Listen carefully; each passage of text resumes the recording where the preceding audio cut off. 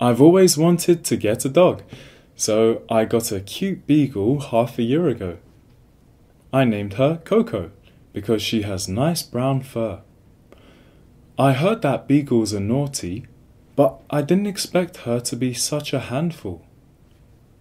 She got into the kitchen cupboard and ate the cereal box, peed on the sofa, and chewed my boot. And that was all in the first week of bringing her home. She's super energetic. I think she just needs more exercise, so I've started taking her for longer walks. These days, she's a lot calmer and doesn't do bad things like before. Looking after a dog is a lot of work, but I'm happy to have her.